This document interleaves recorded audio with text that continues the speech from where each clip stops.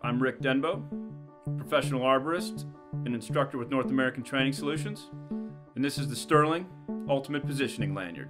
It's made up of 11 millimeter Tri-Tech flip line with sewn terminations on either end, two Falcon double auto locking carabiners with wire gates, one 8 millimeter RIT Prusik, one Osprey oval double auto locking carabiner, one 8 millimeter INI RIT hitch cord, one fixed side plate micro pulley, and one 8 millimeter RIT thimble prusik.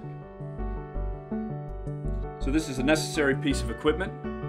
It's extremely durable and can be used in multiple configurations for work positioning.